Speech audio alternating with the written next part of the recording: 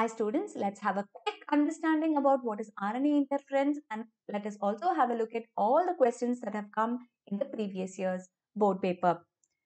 Here, this is a method that is present in all eukaryotes as a cellular defense method and this is used in our case to make transgenic tobacco. Usually, tobacco plants are attacked by a parasitic roundworm called as Meloidogyne incognita. Please get the spelling right. When they attack our tobacco plant, it reduces the yield in tobacco.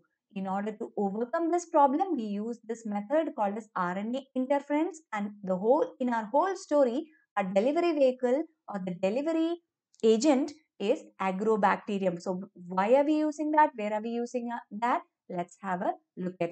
So what is RNA interference? What happens during RNA interference? What are the steps under it? Alright. So using an agrobacterium vector, we are introducing nematode specific genes into the tobacco cells. What is meant by nematode specific genes?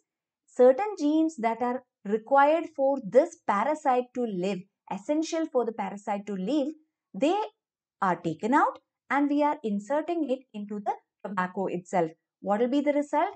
The tobacco cells will start producing complementary RNA or cRNA inside the tobacco plant. Now, in the moment nematode comes and attacks our tobacco plant, what will be happening?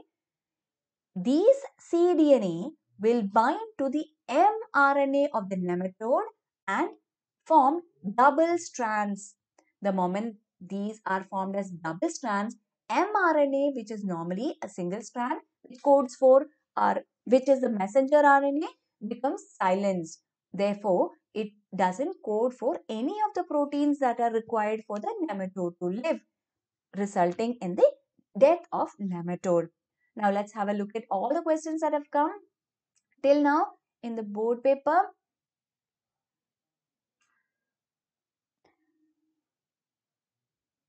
Please try to answer them by yourself. In case you're not able to answer, please go back to the video and watch it again. Thank you.